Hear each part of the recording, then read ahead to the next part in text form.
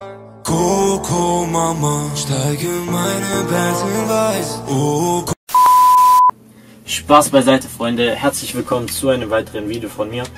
Und zwar habt ihr es ja schon in der Videobeschreibung gelesen. Heute soll es ein wenig um das Thema ja, Internet, Medien und so weiter gehen. Ich würde mal sagen, wir fangen so an, dass ich einfach mal in den Raum werfe, dass die Menschen sich immer weniger irgendwas hinterfragen. Meine persönliche Meinung ist, dass die Menschheit einfach verdummt. Ja, wenn irgendjemand irgendwas erzählt, dann wird es so geglaubt. Die Sache ist so, sei es, ob euer Freund euch irgendetwas erzählt oder euch die Medien irgendetwas vorgaukeln, es wird einfach von Anfang an einfach geglaubt. Ich würde mal sagen, fangen wir ganz vorne an. Ihr werdet schon von klein auf irgendwie erzogen. Eure Eltern geben euch Sachen vor, erziehen euch, erzählen euch irgendwas und ihr glaubt das Ganze ab. Ihr hinterfragt nicht, hey Mama, warum ist das so oder warum ist das so. Selbst wenn ihr das hinterfragen würdet, eure Eltern würden einfach sagen, es ist halt so. Die Sache ist die, selbst wenn ihr später dann in die Schule geht, ja, werdet ihr in einer gewissen Art und, Art und Weise gebildet, erzogen. Immer in eine bestimmte Richtung. Euch wird ein Buch auf den Tisch geknallt, wo bestimmte Sachen drinstehen und so ist es halt. Ja, genau das müsst ihr lernen und so müsst ihr es machen. Wenn ihr es nicht macht, schreibt ihr schlechte Noten. Also hinterfragt ihr das Ganze gar nicht.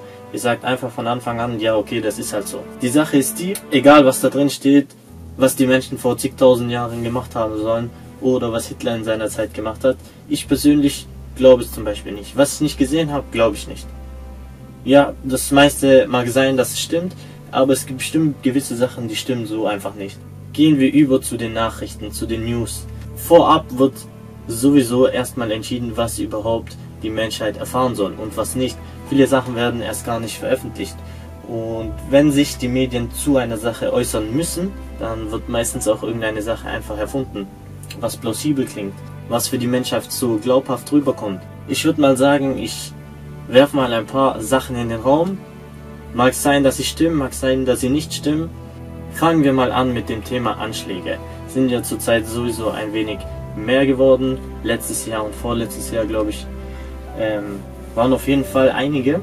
Es ist ja so, komischerweise wird, komischerweise wird ja jeder Anschlag zu der ISIS bekannt gemacht. Außerdem wird irgendwie an jedem Tatort komischerweise ein Geldbeutel gefunden, wo ein Ausweis drin ist und derjenige schon, ja, keine Ahnung, schon seit längerer Zeit gesucht wird oder als, oder als Verdächtiger gilt. Ähm, solche Sachen hinterfragt auch kaum einer. Die Menschen glauben es einfach. Wir sagen einfach, es war wieder einer von denen. Oder gehen wir mal ein wenig weiter zurück. 9-11. War das Ganze wirklich ein Terroranschlag? Oder war es vielleicht von der US-Regierung geplant? Sollte das Ganze vielleicht nur so aussehen? Ich sage dazu jetzt mal nichts. Informationen, die ihr haben möchtet, könnt ihr euch gerne selber beziehen. Mittlerweile ist ja auf jeden Fall schon bekannt, dass, dass es kein Terroranschlag gewesen sein soll. Euch wird schon von klein auf beigebracht oder erzählt, dass es äh, in Afrika gar kein Wasser gäbe oder dass sie nichts zu essen hätten. Keiner hinterfragt sich überhaupt, ist es vielleicht nur in gewissen Gebieten so. Es könnte ja sein, dass sie doch Essen und Trinken haben. Nur natürlich haben sie es schwer da drüben. Aber vielleicht kann man das so ja nicht verallgemeinern und es werden in den Medien nur die, nur die schlechten Seiten des Landes gezeigt. Auf jeden Fall keiner hinterfragt sich das. Niemand war in Afrika, niemand hat selber gesehen. Ich habe es nicht selber gesehen. Oder letztes Jahr war es, glaube ich, ja genau, letztes Jahr die, die Debatte mit Erdogan in der Türkei, dass es dort so gefährlich sei. Ich erzähle euch mal ein persönliches Ereignis von mir. Und zwar habe ich einen Spiegel für mein Zimmer hier anfertigen lassen und den gab es so in der Größe, wie ich den haben wollte, nicht zu kaufen.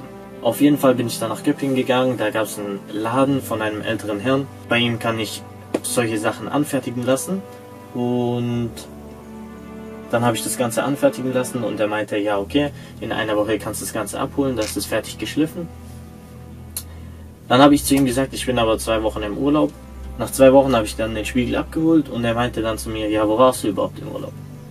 Da habe ich gesagt, ich war in der Türkei. Und er gleich direkt so, in der Türkei, da kannst du gar nicht hinreisen, dort ist doch viel zu gefährlich. Dann habe ich zu ihm gesagt, ja waren Sie dort? Er hat natürlich Nein gesagt. Ich habe gesagt, ich war dort. Auf jeden Fall, was will ich damit sagen?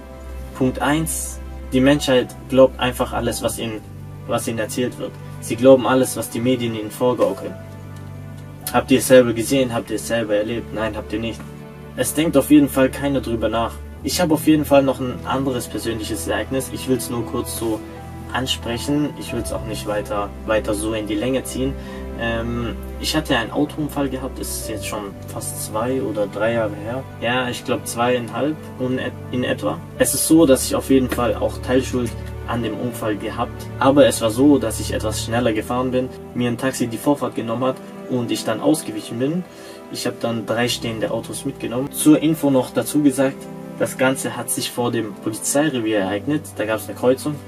Und ja, es war so, dass auf den ersten Blick so da stand, dass ich auf jeden Fall die volle Schuld hätte. Es waren auf jeden Fall drei nagelneue Autos von Polizisten gewesen. Die drei Autos waren von Beamten. Ich wurde dann gleich aufs, aufs Revier mitgenommen zum Verhör, weil mir ein paar bestimmte Sachen vorgeworfen wurden.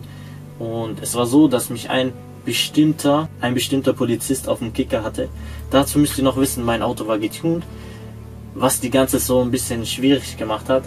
Ja, auf einmal kam ein, kam so ein Oberkommissar, ein älterer Mann, auf jeden Fall ins Zimmer und sagte zu den Polizisten, du gehst jetzt bitte raus. Und ich dachte mir, was geht jetzt ab? Auf jeden Fall hat er sich hingesetzt und fing auf einmal an mit mir zu reden.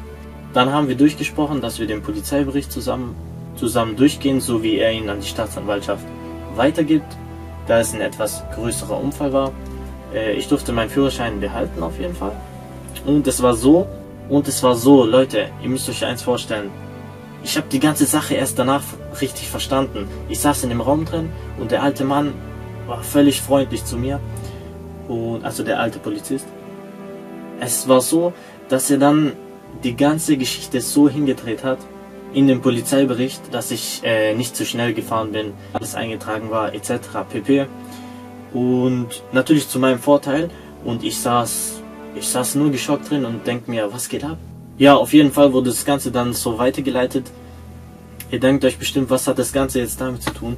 Das Ding ist ja, das Ding ist ja, die Sache wurde dann einfach so dargestellt, so wie das der Polizist äh, geschildert hatte. Und ich habe dem Ganzen zugestimmt. Es war ja auch positiv für mich, die ganze Aktion. Was ich damit sagen will, später weder die Staatsanwaltschaft, weder die Staatsanwaltschaft noch der Richter hat sich auch über, überhaupt hinterfragt, ob das Ganze so stimmen kann. Ihr wisst natürlich nicht den ganzen Hintergrund, aber auf jeden Fall war es nicht so, wie das Ganze dann im Polizeibericht stand. Und ich habe es später verstanden, dass es zu dem Vorteil von dem Polizisten ging, dass die Versicherung auch den Schaden direkt übernimmt. Auf jeden Fall kann man dazu, auf jeden Fall, was kann man daraus schließen? Im Endeffekt gibt es immer jemanden, der die Macht hat.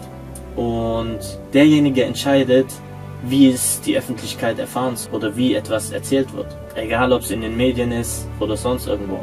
Im Endeffekt, ihr wisst doch alle selber, die Armee ist in Aus Auslandseinsätzen tätig und es wird in den Medien immer so oder so dargestellt, wie der Einsatz verlief, etc. pp.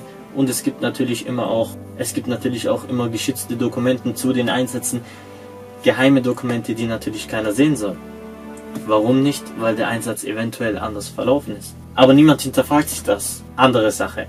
Ich habe schon des Öfteren auf Facebook irgendwelche Videos gefunden mit der Überschrift Bitte liken, teilen. Nach dem Motto teilt das Ganze, dass auch jeder sieht. Irgendwelche Videos, die nicht an die Öffentlichkeit gelangt sind. Irgendwelche Videos, die jeder sehen soll. Irgendwelche Videos, die die Medien verschwiegen haben. Und ihr müsst mal beobachten, irgendwann, wenn die Videos eine gewisse Reichweite erreicht haben, werden die Videos gelöscht. Die Videos werden runtergenommen, und dann steht explizit irgendwas drin von das Video enthält Gewaltdarstellung oder sonstiges. Müsst ihr mal beobachten. Ich meine, der ein oder andere kennt es bestimmt. Ich habe auch schon ein paar Videos gesehen, sei es, dass Polizisten irgend, auf irgendjemand unschuldig zu sechst eingeschlagen haben oder sonstiges. Aber darüber könnt ihr euch euer eigenes Bild natürlich machen. Das ist eigentlich auch eine perfekte Überleitung jetzt zum Artikel 13. Ich meine, Artikel 13, die meisten haben es von euch gehört, ähm, ist in Kraft getreten, ist so durchgesetzt worden. Zu, am Anfang von der Debatte zu Artikel 13, ich meine, das Ganze zieht sich ja schon eine Weile, mehrere Monate. Und das Ganze ist erst auch in den Medien seit einem Monat oder so präsent gewesen. Warum haben es davor die Medien nicht gezeigt? Weil sie es so nicht haben wollten. Sie wollten das Ganze durchwinken. Das Ganze ist eine vorgespielte Demokratie. Ich meine, was haben die Menschen gemacht? Die Menschen haben 5 Millionen Unterschriften gesammelt. Es waren 50.000 Leute auf der Straße an Demonstrationen. Und das Ganze wofür? Für nichts. Das Ganze wurde durchgewunken. Es wird den Menschen nur vorgespielt, dass sie eine Möglichkeit haben, etwas zu ändern. Ja, ihnen werden die Demonstrationen gestattet. Sie können Unterschriften sammeln. Aber im Endeffekt winken es irgendwelche 50-Jährige einfach im EU-Parlament durch, die davon sowieso erstens nichts mehr erleben und zweitens keinen Plan davon haben. Aber niemand hinterfragt sich das Ganze. Es gibt im Endeffekt immer irgendjemand, der am längeren Hebel sitzt. Das müsst ihr auf jeden Fall verstanden haben. Gut, gehen wir mal auf etwas anderes ein. Sagen wir, ich stelle einem Kumpel eine Frage. Er gibt mir eine Antwort auf die Frage. Worauf ich dann antworte, echt jetzt? Echt jetzt, stimmt es? Oder ich, ich antworte, ich glaube es nicht. Welche Antwort gibt er? Zu 95% immer ist es ist immer dieselbe Antwort. Entweder frag Google, frag Wikipedia oder lese im Internet nach. Es sind immer die gleichen Antworten. Das Internet ist euer zweites Gehirn. Und was dort steht, wird einfach geglaubt. Egal was dort steht, es wird geglaubt. Es wird euch vorgegeben. Ja, in Google steht einfach nicht alles drin. Das Internet ist nicht Google, sondern das Internet besteht aus Google und dem Darknet. Ihr habt alle bestimmt schon mal von dem Darknet gehört. Ich persönlich war auch schon im Darknet unterwegs. Genau dort wird alles gezeigt, so wie es ist. Dort könnt ihr die Wahrheit einfach ins Auge blicken. Dort ist nichts zensiert, wird nichts gelöscht. Da könnt ihr euch alle Informationen besorgen. Ja, warum ist das Darknet, ich sag mal, verboten? Denn Google ist genau das gleiche wie Artikel 13, das ist eine Zensur. Google ist eine Zensur. Sie bestimmen, welche Informationen ihr euch besorgen könnt und welche nicht, was ihr denken sollt und was nicht. Wenn irgendetwas veröffentlicht wird, wovon niemand etwas mitbekommen soll, ihr könnt gar nicht so schnell gucken, da ist das Video auf YouTube gelöscht. Das sind Informationen auf Seiten wurden heruntergenommen und wenn ihr danach googelt, findet ihr keine Ergebnisse. Es ist so, könnt ihr selber ausprobieren, es ist einfach Fakt. Das Ding ist, es werden ja zum Beispiel manchmal von der CSI, von der Armee, von NSA irgendwelche Dokumente veröffentlicht das hört man ja noch ab und zu in den Nachrichten, aber habt ihr diese Dokumente irgendwo mal gesehen? Die findet ihr gar nicht in Google. Aber geht mal ins Darknet, dort findet ihr einfach alles, alles was ihr sehen wollt. Jedes Video, nichts ist zensiert, ihr habt alle Informationen. Dort könnt ihr die Wahrheit ins Gesicht blicken, dort wird euch nichts vorgestellt, dort könnt ihr euer Gehirn frei entfalten, dort könnt ihr euch eure eigene Meinung bilden, dort könnt ihr euch eure eigene Meinung bilden. Es ist einfach Fakt. Alle Informationsquellen könnt ihr euch von dort beziehen und alles andere wird euch nur vorgespielt. Im Endeffekt wird alles bestimmt, wie der Mensch denken soll. Auf jeden Fall, am Ende des Tages müsst ihr selber entscheiden, was ihr glaubt und was nicht, worüber ihr eigene Meinung bildet, worüber nicht, oder was ihr hinterfragt und was nicht.